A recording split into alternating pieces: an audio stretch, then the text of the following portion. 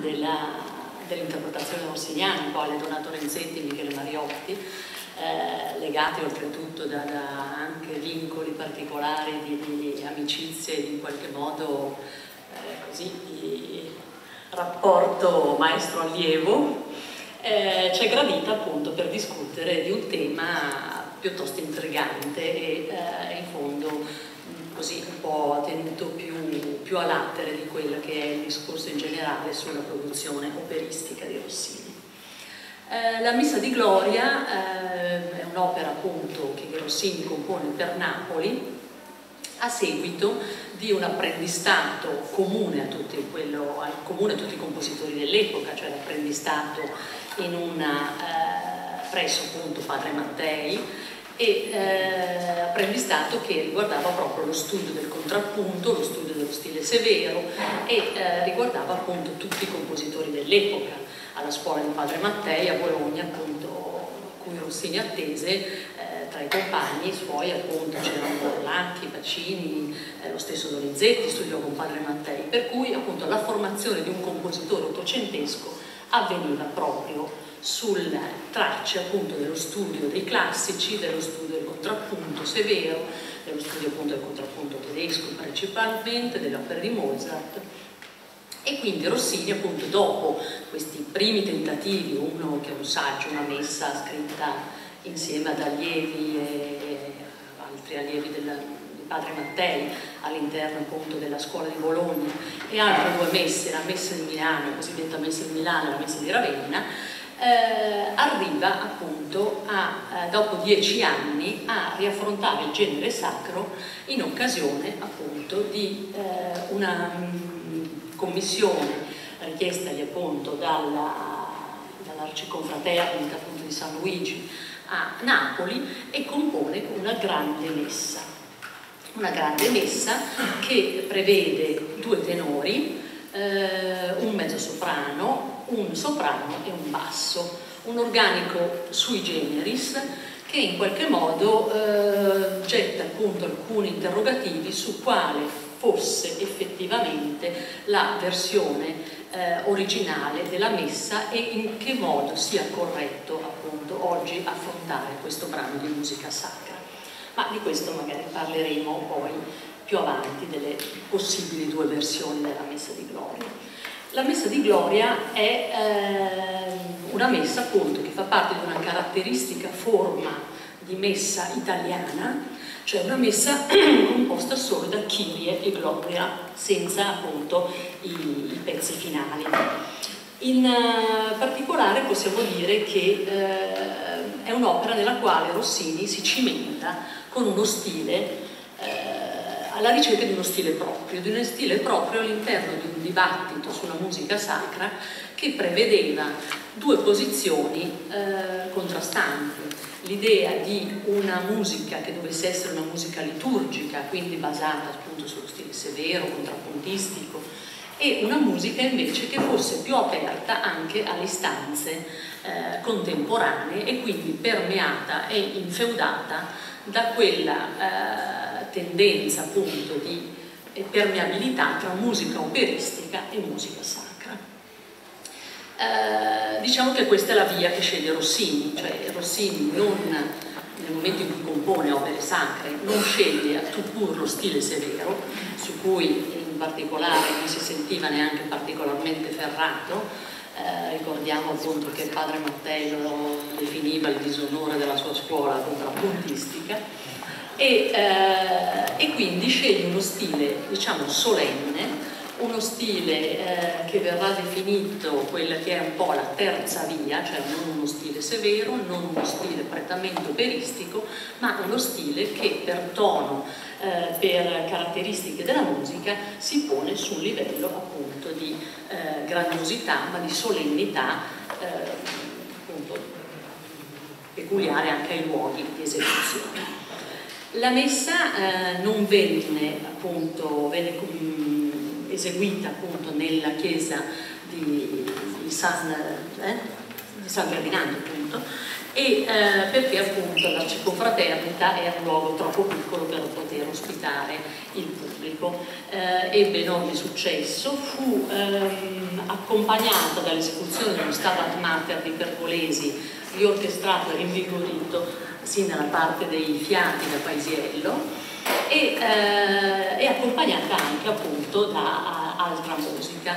Queste testimonianze ci vengono da un particolare, da un compositore sassone, tale von Miltitz, il quale definì eh, l'opera in modo così eh, piuttosto critico una sorta di ragù rossiniano, di, di frasi rossiniane, alludendo al fatto che Rossini aveva eh, era ricorso anche in questo caso a autocitazioni piuttosto che eh, addirittura al concorso di un altro compositore, Pietro Raimondi, per la composizione dell'ultimo brano della Messa di Gloria.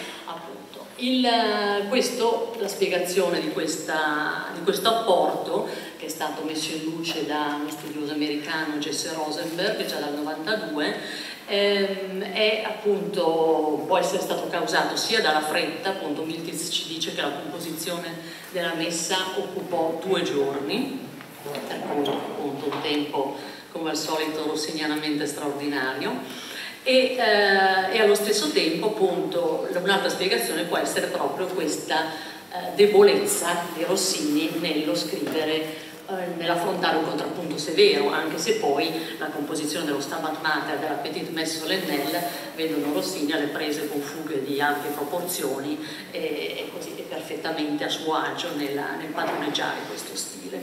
Diciamo che forse l'affrontare questo stile severo nel, a Napoli in un contesto nel quale alla presenza appunto di compositori come Zingarelli anche che avevano una solidissima tradizione di scrittura contrappuntistica appunto lo stesso Raimondi probabilmente potrebbe aver indotto Rossini eh, cautelativamente a ricorrere a, eh, a un personaggio più forse dotato di lui nella scrittura di questo stile il, appunto, la permeabilità di questi, appunto, di questi due stili, cioè l'idea di uno stile severo e di uno stile più drammatico, operistico, si evidenzia in numerosi brani della, della composizione.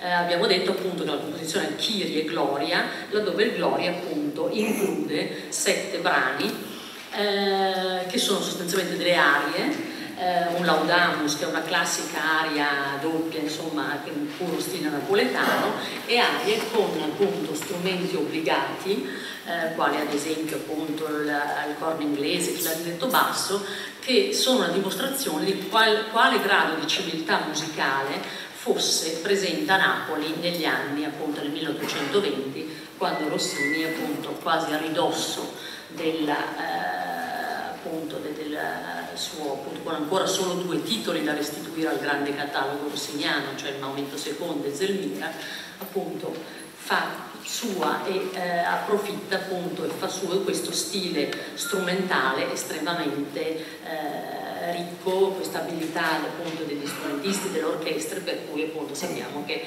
lo stesso San Carlo e tutte le maestranze orchestrali napoletane erano celebri. Ehm, vedendo i nostri illustri ospiti vorrei sentire il parere del maestro Renzetti, appunto interprete della, eh, che ha diretto appunto la Messa di Gloria, eh, su proprio le peculiarità di questo stile, le problematiche che eh, all'interprete pone lo stile sacro rossiniano. Buongiorno, io oggi sono un po' emozionato per due motivi. Primo perché ha detto tutto lei. Io l'ho preparato quello che aveva detto lei perché come sapete ho dovuto sostituire il maestro Roberto Abbado che purtroppo si è fatto male e purtroppo anche per me perché sono qui oggi, ma non eh, sto scherzando, eh, come Rossini voleva in fondo. Eh. No, è, è, chiaro che all'epoca eh, tutti i compositori volevano un po' emulare classici tedeschi, Haydn, Mozart. Mozart è sempre stato eh, l'ombra di Rossini in fondo e in tutte le sue lettere in avanti, lui scriveva sempre del grande compositore salibusese, quindi Rossini ha cercato con questa messa nel periodo napoletano di ritornare all'infanzia, come diceva eh, la signora che eh, la messa di Ravenna era un lavoro giovanile, quindi non era da considerare, ma eh, la difficoltà sta proprio in questo che lui si è fatto anche aiutare da questo Raimondi che era un contrappuntista, infatti la parte più debole secondo me della, della messa sta proprio nel, nel, contrappunto finale, nella fuga finale, cioè Rossini non era un grandissimo contrappuntista, mentre la parte diciamo sacra la troviamo moltissimo in tutte le sue opere, io ho diretto tante opere come Bianca Falliero, Momento Secondo Nono, conosco l'Ermione, una grandissima opera, in cui si ritrova un po' qualche cosa anche della messa, i soliti accordi, e poi il fatto strumentale, il fatto strumentale perché Rossini ha sempre privilegiato le sinfonie in un certo modo delle sue opere iniziali e soprattutto anche nella, nelle cantate, che poi lei analizzerà benissimo più di me, eh, vedremo che la sinfonia è la parte più, quasi più importante del canto. Difficoltà sta nel fatto che la tessitura del vocale, avete sentito, chi è venuto a sentire ieri la messa, è un lavoro di, di, di grande classe in fondo, perché non si può apprendere magari all'inizio. E, e, qui mi ricordo una frase stessa di Rossini con, con Wagner che diceva, dopo che aveva assistito a Lohengrin, disse maestro Lohengrin cosa ne pensa? Dice sì, lui l'opera è interessante, bisognerebbe vederla, sentirla una seconda volta per capirla, il problema è che io non ritorno una seconda volta, quindi non è questo il caso della messa, perché la messa andrebbe sentita forse anche una seconda volta. Ripeto, io ho studiato in dieci giorni di Rossini Sacro, ho fatto poco, ho diretto l'estate al Mater, Mariotti, Michele, e ecco il secondo motivo della mia emozione oggi è che il destino ha voluto che, scusa se esco un po' fuori tema, se non so cosa dire, il destino, il destino ha voluto che ci incontrassimo oggi, io e Michele Mariotti, due parole del talento di Michelino, chiamo Michelino perché era bambino, lui veniva da bambino e mi rubava tutte le bacchette, io non trovo mai le bacchette, ho diretto due spettacoli con le mani perché le bacchette le aveva prese lui.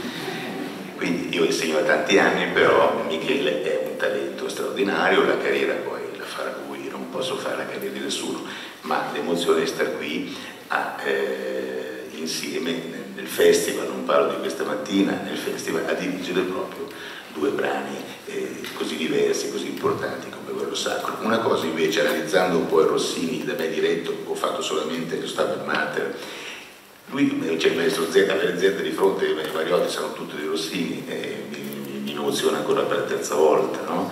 correggetemi se sbaglio, maestro. E, e, lui non ha mai usato l'organo, io ho diretto, 90, io sono uno dei direttori, forse questi italiani, ha diretto più opere, ne ho fatte 90, soltanto il grande Patanè ne ha fatte 100 in più, 90 opere soltanto.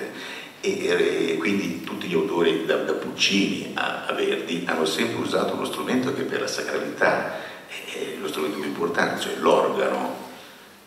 E, Rossini, se non sbaglio, lo usa solamente nell'ultimo brano suo, la Petit Messo René, non so, non è vero, ripeto, c'è altre cose, eh? beh, dice che ci sono altri brani, ma lui conosce tutto di Rossini, io no. Eh? però diciamo il Messo René con l'armonium, con l'organo, dà il senso di sacralità al brano che il compositore voleva scrivere. Strano che nel, nelle cantate non ci sono, ma le cantate a differenza della messa sono abbastanza diverse fra di loro, uguali perché la stessa sinfonia è stata trasportata nel Didone ed Enea, mentre il Didone ed Enea è un brano fatto anche da stranieri di parsi, il Didone Enea e quindi era un tema di Metastasio, il testo usato a quel periodo. E, la, la, il piatto d'armonia del, del, del, come si chiama? Il, col tenore protagonista che era quel Blake è molto scolastico, infatti eh, allora si usava dare al miglior allievo, all'epoca di Rossini, al miglior allievo si dava un, un compito, in questo caso di, di, scrivere una cantata. E Rossini fece il pianto d'armonia sulla morte di Orfeo, però sì, questo si nota, ma eh, questo si nota solamente, ripeto, dirigendo questo brano, vedendo che è un po' appiccicato, un po' nelle regole stilistiche, lo stesso Rossini poi quando invecchiava disse che chi seguiva le regole d'armonia era un cattivo compositore, lui si è liberato di questo. Didone, eh, avete visto la difficoltà, è sempre il canto, perché la, queste, queste colorature straordinarie, difficili, ha bisogno di grandissimi interpreti, in questo caso il festival è riuscito a centrare l'obiettivo con la Prat e con Flores. Quindi diciamo una, un modo di, di, scrivere che è rossiniano già da bambino, non so quanti anni avesse Rossini, forse 16 anni quando ha scritto le due cantate. E nella messa, indubbiamente, rispetto alle messe, non me ne vogliono i rossiniani, ma rispetto alla messa di Mozart, rispetto al Requiem, rispetto a, a, poi al Requiem di Verdi, sicuramente è un po' inferiore, anche perché lui stesso si è fatto aiutare, come diceva lei, da altri compositori. Vabbè, ho, studiato, ho, studiato, tutto in dieci giorni, quindi non mi, mi hanno coinvolto.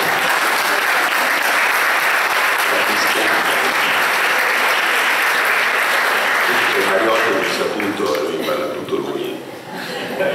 Possiamo magari aggiungere a proposito della messa una notazione piuttosto curiosa della messa di Gloria eh, riferita alla prima esecuzione. Il, eh, appunto, Re Ferdinando quando si rimpossessò nel 1815 del Regno di Napoli dopo la, la parentesi muratiana ripristinò eh, quasi tutte le consuetudini eh, teatrali, ma fu, eh, scusate, le, consuetudini eh, religiose, in particolare la consuetudine di non avere eh, donne che cantassero all'interno della cappella palatina.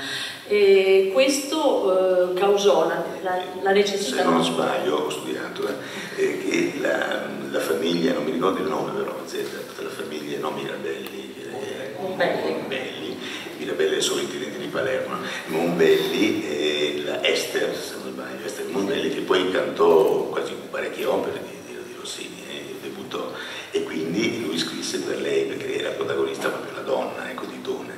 Ah, sì, nella cantata, mentre invece appunto nella Messa di Gloria il, eh, la caratteristica è stato il ricorso a un castrato, cioè Mosè Tarquinio, per il, eh, il ruolo appunto del eh, soprano, in un'epoca nella quale appunto trovare i castrati, eh, essendo stata per fortuna bandita appunto la pratica della mutilazione era estremamente raro per cui appunto Tarquinio e Velluti erano, sono stati gli ultimi eh, castrati a calcare le scene.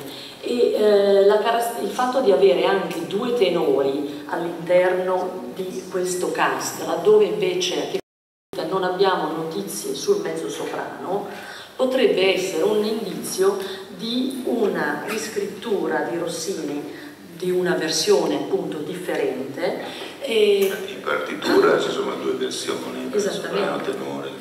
Soprattutto appunto eh, l'idea appunto di che Rossini stesso abbia cercato di eh, risolvere appunto questo problema pratico ricorrendo appunto ai due tenori, alla voce appunto di Tarquinio e eh, due tenori che tra l'altro erano Cicimarra e Rubini, non inizialmente come si era pensato, Nozari e David, no? perché effettivamente nella scrittura della messa di Gloria ci sono queste due grandi arie, no? Grazia e Guitollis, che hanno tessiture abbastanza differenti, le quali forse sono straordinario il talento di, di, di Florence ha permesso come, come di dicevo prima, ci sono grandissimi interpreti, perché le due romanze del tenore, ma anche la, il Laudamus della, della, della, della signora Pratt, veramente complicate, forse sono più complicate queste due romanze, arie non chiamiamole romanze, che non tante romanze d'opera.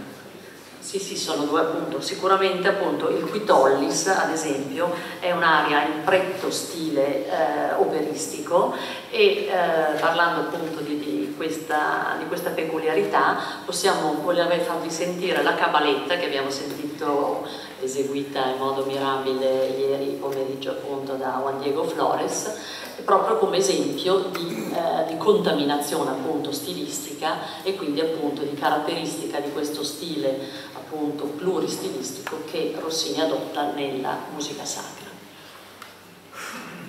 È la ripresa della cabaletta.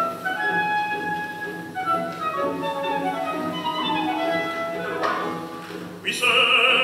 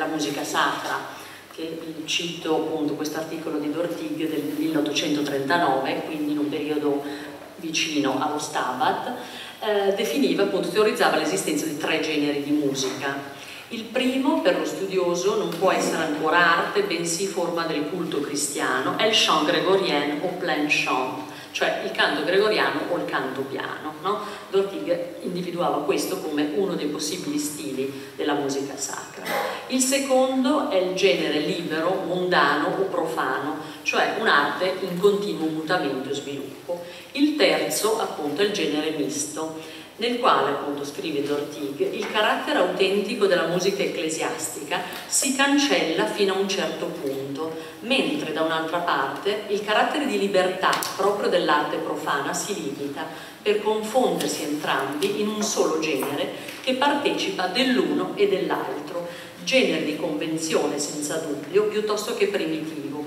ma che non è meno necessario a mantenere l'equilibrio e servire da transizione tra i primi due stili.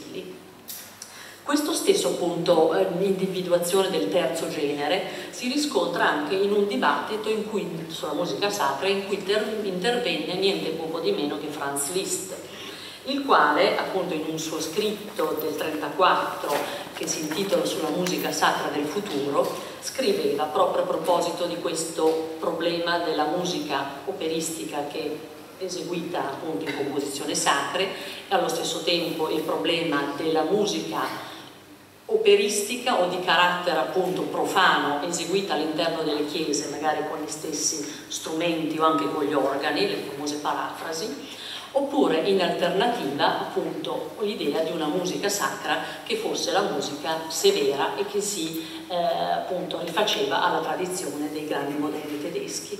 Scrive Liszt, al giorno d'oggi l'altare trema e oscilla, il pulpito e le cerimonie religiose sono materia di scherno e di scetticismo e allora l'arte deve abbandonare l'interno del Tempio. Per ottenere ciò è inevitabile la creazione di una nuova musica. Questa musica che noi in mancanza di un'altra definizione battezzeremo umanitaria deve essere solenne, vigorosa ed efficace, deve unire in colossali rapporti teatro e chiesa, deve essere contemporaneamente drammatica e sacra. Ecco, direi che questa è una sintesi eh, assolutamente perfetta di quello che è anche una composizione come lo Stabat Mater, eh, che voi sapete eh, è una composizione sulle quali Rossini ritornò dopo una prima versione scritta eh, per l'arcidiacono di Madrid, eh, Fernandez de Varela, in cui appunto Rossini scrisse sei brani e fece poi eh, eseguire e eh, fece poi, scusate, completare la composizione da eh, un suo compagno alla scuola di Mattei, cioè Giuseppe Dadolini. E eh, quello Stabat Mater in questa prima versione ebbe un'esecuzione appunto a Madrid, salvo poi venire ripreso dallo stesso Rossini che negli anni 40 appunto completò eh, al posto, appunto, scrisse altri quattro brani in sostituzione dei sette composti da Tadolini e fece rappresentare l'opera al Stabat Mater in una prima versione a Parigi all'interno del Teatro Italien per poi essere ripreso negli anni 40, appunto nel 42, alla, nella sala dell'Archiginnasio a Bologna alla direzione niente poco di meno che di Gaetano Donizetti. Michele, vogliamo parlare del, di queste caratteristiche appunto di sacro e profano dello Stato? Buongiorno. Io sono sempre molto eh, emozionato quando devo parlare di musica perché preferisco sempre farla piuttosto che raccontarla. E anche perché non so mai se riesco a tradurre a parole quello che sento nel mio corpo quando poi si crea quel legame magico con i musicisti, no? con cui poi si deve fare musica. E, e quando ho saputo che avrei dovuto fare questo incontro con voi, con Donato Renzetti, l'emozione divenne terrore puro. E, tu l'hai saputo, io non l'ho mai saputo. si è fatto di tutto per evitare di farlo, ma non ce l'ha. Ehm, eh, come sempre non mi sono preparato, vedo che tanti foglietti io mai preparo schemi, anche perché non, non li so seguire, quindi vi racconterò tante cose in maniera disordinata, abbiate pazienza, poi vi prego fate domande perché ci aiutano sempre in questi casi. E, e, stabat mater, allora, eh, io mi ricordo una, come avete saputo, io sono stato allievo eh, con tanta gioia di, di Donato Renzetti e insegnare la direzione d'orchestra è, è una materia, mamma mia, enorme. Non dico che è impossibile insegnare direzione d'orchestra, ma quello che è facile insegnare è la punta dell'iceberg, quello che tutti più o meno sanno che fa un direttore, cioè manda tutto insieme, batte il tempo, ma poi c'è nove decimi nascosti sotto l'acqua che tanti ignorano e questo è il, è il difficile del nostro lavoro e eh, che si vede soprattutto, che si coglie, si vede soprattutto durante le prove, più che nell'esecuzione stessa. Perché vi sto dicendo questo? Una delle tante cose che ci insegnò a noi allievi, a Messer Renzetti, è il direttore quando dirige è solo, nel senso è un paradosso perché noi non siamo niente senza i musicisti, però allo stesso tempo noi siamo soli e in quel momento noi dobbiamo mettere da parte anche i nostri problemi, perché probabilmente a nessuno interessa se noi li abbiamo, ma dobbiamo fare buon viso, la cattiva sorte, dobbiamo continuare a fare il nostro lavoro. Io, eh, quando anni fa morì mia nonna, io sono stato costretto a fare un concerto e a quelle prove potete immaginare quanto avessi voglia di provare, però all'orchestra probabilmente non interessava niente. Infatti, scusa se usciamo fuori termine, è sacro anche quello che stiamo dicendo. Eh, più difficile per un maestro è proprio questo, i problemi personali sono nostri e capita a tutti nella vita di avere tragedie gioie il problema del solista è che il solista si tiene dentro proprio dolore, la propria gioia, non sa esternare in quel momento, no? eh, muore un genitore, tu hai la prova, il concerto e non puoi, e questo è incredibile come se fai, fai capire all'orchestra il tuo stato d'animo come l'orchestra reagisca in maniera in quel caso negativa o viceversa. Il problema è che hai un, un lato umano che diventa complicato. Muore un parente, un la moglie ti abbandona, non lo so, speriamo di no, mia moglie la no. E, e, e quindi la, di fronte hai magari un professore d'orchestra che ha lo stesso problema tuo, no? la tragedia. E questa è la cosa più difficile del, del direttore, questo che cercavo di dire a loro, però questo è un problema che soltanto facendo questa carriera si può capire. Basta. No, io dicevo questo perché è... Noi viviamo sempre di tanti paradossi uno di questi è proprio quello di cui sto parlando. Noi ci ritroviamo nella situazione in cui talvolta dobbiamo accantonare i nostri dolori, le nostre sensazioni per lav nel lavorare con la comunità dentro cui ci troviamo e però ci sono dei casi in cui noi con questa comunità dobbiamo condividere il tema del dolore, ecco, che è insomma c'è un mondo in mezzo a queste due situazioni. E quindi lo Stabat Mater, noi ci si ritrova, io mi ritrovo dopo qualche anno a affrontare questo capolavoro e mi ritrovo dopo per me cinque anni dalla mia prima esecuzione proprio qui a Pesaro a eh, dover parlare di un dolore che per me è completamente rinnovato che si è rinnovato in questi anni. Ho la fortuna di poterlo fare con un'orchestra con cui ci si conosce a memoria, con cui questi giorni si prova sempre un gran divertimento, una grande gioia perché ci si capisce al volo, tante proprio si lavora ormai sui dettagli e, e probabilmente sono cambiato anch'io, è chiaro, ma io ho completamente ritrovato e, ho, e riscoperto un, un'opera che non conoscevo. Io l'ho diretta a Pesaro appunto cinque anni fa, poi la diressi a Firenze pochi mesi dopo e un mese e mezzo fa mi chiamò Riccardo Sciai e mi diede il suo concerto alla Gewandhaus in Leipzig. Quindi potete immaginare uno dei posti più belli del mondo, una delle orchestre, forse tra le 4-5 orchestre, e andai a dirigere i pezzi sacri di Verdi e lo Stabat Mater. E, questo, e quindi ci furono 5 anni e mezzo. E io ti... possiamo anche dire i 5 anni in cui tu hai diretto Guillaume Tell. Sì, sì, sì, beh, cui sono cresciuto, no? sì, sì, esatto, poi hai affrontato questo... Sì, sì, comunque, insomma, 5 anni in cui tante cose sono cambiate, eh, si è cresciuti, si è maturati, eccetera, eccetera, ma eh, io decisi di ristudiare questo, quest'opera come se non l'avessi mai fatta, come se non avessi conosciuto una nota proprio. E ho scoperto, come vi ho già detto, un, un, eh, le note le conoscevo, ma ho scoperto un senso completamente diverso. Le note ovviamente sono sempre quelle, ma ho scoperto un, un significato diverso Um, cinque anni fa probabilmente anch'io ero più, adesso mi imbarazza dire ero più giovane, insomma io penso che fino a 50 anni sarò il giovane maestro Mariotti, però ero, uh, vabbè, ero ancora più giovane, probabilmente in quanto tale ero anche più, uh, più agitato magari, no? Volevo tutto subito come spesso è nella vita, no? soprattutto per noi musicisti che tutti vogliamo sempre arrivare prima di tutti, che poi il problema, sappiamo benissimo che non è, questo è anche facile, il problema è che bisogna poi rimanerci. No? Quindi, Stabat Mater, eh, opera completamente nuova per me, ma che cos'è stato, il, cosa c'è di nuovo?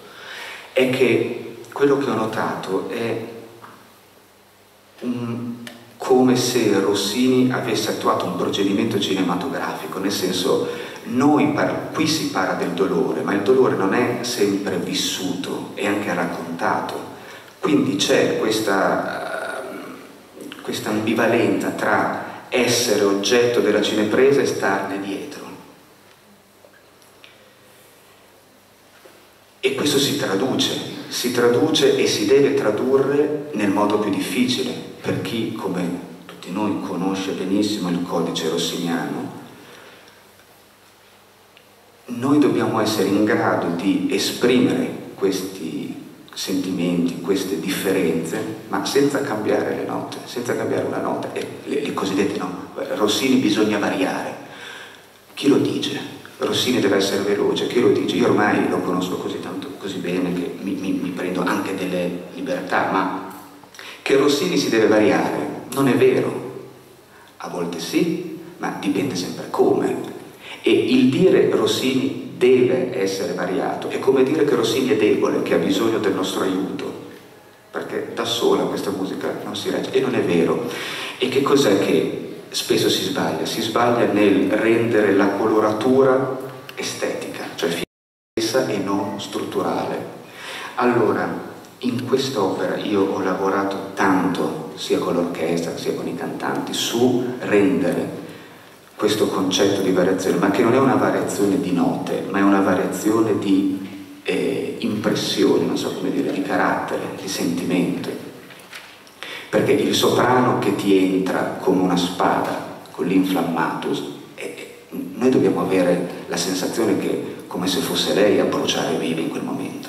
Però c'è, virgola, e lei ripete inflammatus, e quel, quando lo ripete non è più lei l'oggetto, è dietro la cinepresa, lo racconta il dolore. Ecco, questo è, secondo me è importantissimo e mi, e mi, ha fatto cambiare tante cose, tante scelte e proprio per questo è diventato un dolore meno vissuto da noi stessi ma più raccontato, filtrato, c'è sempre come una sorta di distacco E tutto questo, secondo me, diventa proprio il paradigma della poetica di Rossini. Questo preferire una realtà filtrata dal, da lui stesso, piuttosto che fotografare la realtà, piuttosto che metterci di fronte alla realtà vera e propria. Due anni fa noi eravamo qui con Vic a parlare del Giontel e, e Vic che sia piaciuto o no lo spettacolo e Vic disse perché da me volete le, i fiumi le colline, sono già della musica, io vi do un'altra cosa, se volete me io vi do un'altra cosa, appunto, che piaccia o no. Ma il, eh, il, eh, quello che si dice, no, l'astrazione di Rossini, in realtà è una precisa scelta intellettuale di, eh, molto coerente intellettualmente, ovviamente, perché se no non avrebbe deciso di smettere di scrivere musica, ma proprio questa volontà di vivere la realtà raccontandocela e non portando ognuno di voi dentro la realtà. Ehm, adesso aprirei tante di quelle parentesi che poi non ne chiudo mai una. Ehm, il quartetto, per capirci, probabilmente testualmente è il, è il momento in cui, secondo me, c'è più tragicità nel testo, in cui c'è una precisa richiesta di condividere, di fare parte del dolore, tanto è uno strazio vedere senza poter fare nulla il dolore altrui. E, e Rossini scrive una danza, che noi potremmo dire ma che perché scrive questa musica? Eh, noi diremmo allegra, no? E poi capiamo che, voi lo sapete benissimo perché tutti voi conoscete ormai da tanto Rossini, di, di buffo in realtà non, non, è, non, ha un cara, non ha un sesso la musica, non ha un, un, un come posso dire, non la si può catalogare proprio perché c'è un senso che prescinde dal, dal, dal concreto, dal fatto concreto. E tante volte lui aveva in testa una musica che non, che non era frutto di un legame con un preciso testo o con una precisa situazione drammaturgica, era semplicemente più forte di qualsiasi cosa. Poi c'è sempre quel qualcosa, parliamo ovviamente di geni, che riusciva poi a far quadrare tutto alla fine. No? Così, motivo per cui eh, eh, noi ci spieghiamo il fatto che la stessa musica in situazioni completamente diverse funziona benissimo in entrambi i casi. Ecco. E, e, altra cosa che mi ha colpito e che ho ritrovato nel, nel, studiando lo Stabat Mater è come lui vive il rapporto con, eh, direi con Dio oppure con, non so, insomma, sì, con la trascendenza, con qualsiasi cosa ognuno abbia deciso ci sia no? sopra di lui. Come lo vive? Lo vive con, un, con grande coraggio e anche questo è lo stesso coraggio che lui ha avuto decidendo di tirarsi fuori e insomma non è, noi lo diamo per scontato, ma non è, immagino, non sia stato così facile per, un, per una persona all'apice del successo decidere di smettere di continuare ad avere successo, no? che sappiamo benissimo che poi non è, il motivo non è stato la malattia. Bene, lui mette l'uomo e, e Dio, mettiamo l'uomo e la trascendenza, chiamiamolo così, sullo stesso piano. E, e, quindi non c'è una subordinazione, non c'è un'accettazione acritica del destino, ma anzi l'uomo, eh, Rossini decide di, non dico di battersi cercando di cambiarlo, perché probabilmente nessuno di noi può farlo, ma di battersi cercando di far capire le proprie ragioni, le proprie, i propri diritti, come dire, no? Perché noi spesso veniamo, adesso qui si generalizza ovviamente, ma eh, che si parli di musica, che si parli di religione, noi spesso abbiamo, siamo vittima di regole, di dogmi. Poi veniamo a sapere perché quella cadenza si fa così, ah perché si deve fare così, ma perché si fa così, ah perché si fa... ma non è scritto così, ma è capitato. Io quando diressi, ecco una delle parentesi, poi ricordatevi da dove mi sono fermato. Allora, io incontrai Claudio Abbado, Simon Boccanegra a Bologna, la mia prima inaugurazione. E, e Abbado mi invitò a casa sua e, e, io mi, mi, sono tolto lo sfizio e gli dissi, maestro, ma perché la cadenza del soprano si fa così? Verdi l'ha scritto in un altro modo. E lui mi fa, eh, è vero, però la cantante aveva delle difficoltà, quindi abbiamo dovuto cambiarla. Ecco, le difficoltà di una grande cantante sono diventate delle regole per i posteri e questo è perché mai? No? Io da ingenuo ti penso ma perché? Nell'area di Amelia, Verdi proprio scrive questa cadenza in modo che la seconda parte potesse diventare un melisma su una vocale. Il pianto proprio c'è. Se noi invece sillabiamo la parola, eh, sillabiamo, mettiamo la parola su quel melisma, abbiamo solo le note, si perde l'effetto del melisma su una vocale, perché è quello che proprio ci rende il pianto. Quindi la, la cadenza di Verdi, quelle note non sono, non erano musicali, parlo per assurdo, ma erano teatrali, ecco. E, variazioni. Ehm, sì, variazioni.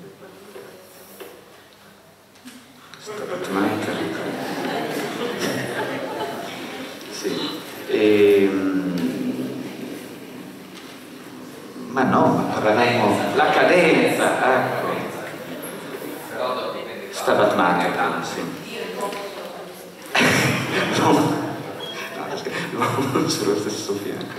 E, um, I dogmi, ecco, no, no, i dogmi erano c'era, non eravate tutti, erano i dogmi, si parlava dei dogmi, è vero. Noi siamo, li subiamo, ecco, noi li subiamo. Così come subiamo la, il fanatismo, l'integralismo. Allora, come si è comportato Rossini di fronte a quello che viene passato per quel grande scatolone dentro cui si deve essere, si, noi si deve essere inquadrati, reagendo. Reagendo come? Non facendo capire che l'uomo comunque una, una, una, coscienza ce l'ha, una, una voce ce l'ha. E come lo ha fatto? Nel finale, adesso l'ho qui, insomma, nella fuga finale che sembra quasi chiudere il cerchio ritornando a uno stile quasi bacchiano, perché quella fuga è... Mm, ci, ci sento molto Bach, come ci sento tanto Schubert, come ci sento un Preverdi, che poi sono discorsi stupidi perché è Rossini comunque, è sempre Rossini, però lui sente l'esigenza alla fine di, come dire, ritornare alle origini. E alla fine c'è quest'ultima ultimo intervento del coro, l'ultimo proprio, la, la stretta finale, dove la parola in sempiterni, sempiterni viene intonata, quasi proprio urlata dai soprani, dai tenori, con questo salto di ottava. So, so, so, so, so, so, so. E perché lui usa il salto di ottava? Lui lo usa in, in, in altre occasioni. La prima mi viene in mente Momento Secondo, l'aria, il coro, il coro femminile del Momento Secondo. Il salto di ottava non ti dà scampo, perché il, un intervallo di terza lo ribalti, ha un alter ego, come dire, l'intervallo di quarta ha un alter ego, l'intervallo di seconda, idem, l'intervallo di ottava non ce l'ha, l'intervallo di ottava è solo l'intervallo di ottava. E questo ti dà, perlomeno mi dà, un senso di, di rabbia, di sfogo verso un un senso di, proprio di ineluttabilità, no? questo è, ci, nulla si può fare, però mh, mm, ho rabbia nel, nel, vivere, nel dover vivere questo rapporto comunque inevitabile che tutti noi abbiamo con la morte. E paradossalmente questo senso così critico, questo eh, coraggioso che ha avuto lui e che in qualche modo noi, fa in modo che noi ci si possa ritrovare, ci dà anche tanta forza, tanta speranza. Quindi il, paradossalmente quest'opera è così pervasa dal dolore, dalla morte, che ci dà, che, ci, che, che, che in realtà quello che ci resta è il senso della vita, l'attaccamento della vita. Eh, io mi ricordo tanti anni fa quando lessi Moby Dick e quando chiesero ad Aka, ma tu quando hai la, la, la balena che ti apre le fauci, lì davanti, tu sei lì e, e sono, tu hai, hai, paura della morte in quei momenti. E lui dice, ma no, io proprio sono i momenti in cui invece penso alla vita. Questa fu la sua risposta. E quindi devo dire, questo è quello che mi dà, che mi lascia eh, dentro lo Stabat Mater, un senso di, di speranza, comunque di positività, che è poi lo, la stessa sensazione che mi dà la musica di Mahler.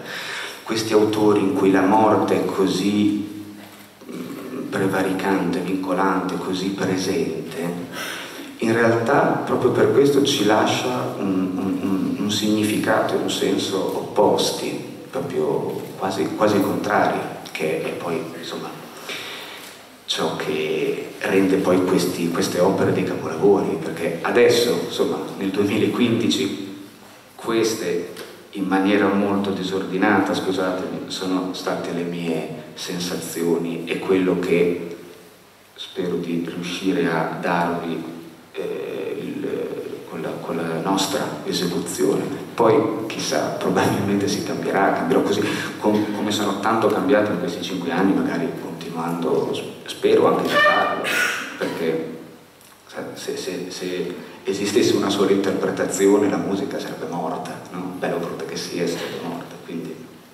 E devo dire è anche bello, molto divertente come è strutturato il concerto, perché c'è questa prima parte dove verranno eseguite per la prima volta, penso, tutte, tutte le danze del Tell, tutte, comprese il pas de deux che, che noi si tagliò e comunque abbiamo una prima parte così scoppiettante, con il così e, e insomma poi questa seconda parte invece è molto più intima, molto più riflessiva. Ecco, questo è tutto.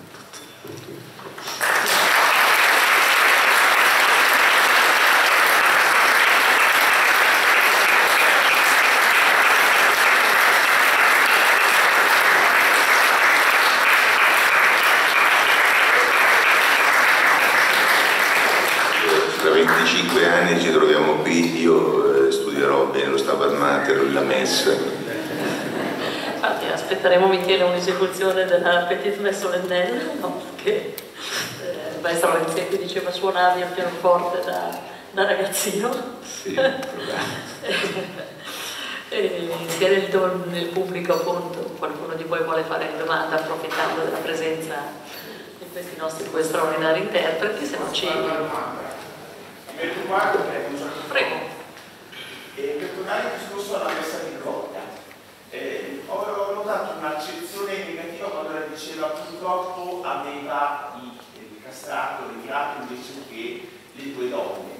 Eh, però mi sembra che eh, Rossini riprendesse un po' questo mondo, diceva che quando scomparirà il castrato scomparirà la musica ehm, sacra italiana. Quindi volevo capire, in fase di composizione per queste due voci, eh, eh, lui era, cioè, eh, come si è posto con la composizione incastrati per non essere Questo. E poi e per concludere ehm, quella serata famosa alla chiesa di San Ferdinando con probabilmente la sinfonia della Gazzalata, con il credo, è possibile costruirla solo per i brani citandoli o anche a livello musicale si potrebbe ricostruire quella, quella magica serata che comprendeva la messa di gloria come nucleo centrale. Eh, quindi il rapporto dei castrati e la serata completa.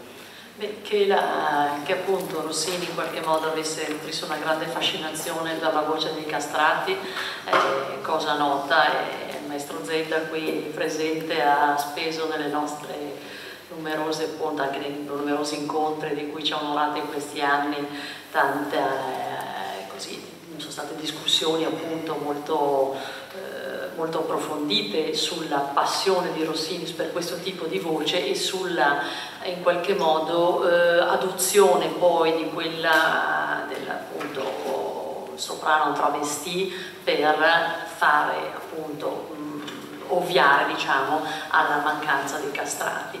Nel mio intervento non c'era tanto un'accezione negativa quanto la fotografia di una eh, situazione appunto che eh, diciamo, di, di, leggi che erano state promulgate e che quindi non permettevano la presenza delle donne. Non dimentichiamo che questo dibattito sulla assenza delle donne nel, nei luoghi sacri come cantanti si è protratta fino anche all'esecuzione della Petite Messe solennelle, ci sono appunto c'è una famosa lettera anche citata da Sergio Ragni nel suo articolo, appunto una messa nobile nel quale cita questa lettera di Rossini Pio IX in cui appunto auspicava il ritorno delle voci eh, femminili, no?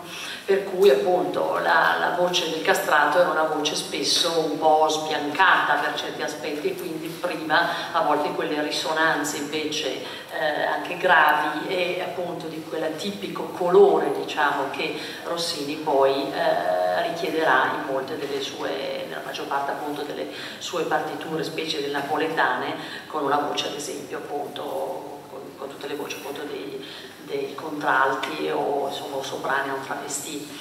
Il, um, la seconda parte della domanda era ah, se si poteva ricostruire. Allora, la, messa, la situazione delle fonti della messa di gloria è, stata discussa e scoperta da Philip Gossett eh, nel, ritrovando negli archivi napoletani le parti eh, le parti appunto sia d'orchestra che vocali utilizzate durante la, appunto, per queste esecuzioni con annotazioni autografe per cui appunto ci sono situazioni anche nella musica in opere precedenti, tipo le sonate a quattro, in cui certa musica di Rossini c'è tramandata per fonti non di prima mano, cioè non autografi, ma per fonti manoscritte autografate in qualche modo o appunto eh, contenenti indicazioni autografe che quindi ci fanno ritenere queste come fonti primarie. Il, per cui appunto la messa è stata ricostruita su quella base essenzialmente e poi sulla base di una partitura eh, particolare, un manoscritto importante che è l'archivio Ricordi di Milano che contiene anche le versioni molte appunto aggiunte e modifiche che furono fatte nel corso appunto evidentemente di altre rappresentazioni della messa. Eh, di autografo appunto per la, per la, messa di gloria esiste solo un foglio del Domine Deus che è conservato appunto il Fond Michot nel Conservatorio di Bruxelles nel quale appunto sono presenti questa versione eh, del Domine Deus che attesta questo cambio di eh, attribuzione tra due tenori eh, a, scusate, due soprani e basso a soprano, eh, tenore e basso. E per cui appunto la ricostruzione effettivamente della parte del eh, contralto, se fosse fatta da un secondo, eh, da, da un secondo tenore o da appunto un travestito, una, appunto una castrato, non, non, non c'è nota insomma. C'è questa appunto incertezza delle due versioni, con, perché in una cronaca sono attestati due bassi, Ecco, per cui appunto è un'indagine un che nella futura edizione critica di questa messa bisognerà affrontare in modo insomma sistematico. Grazie. Prego.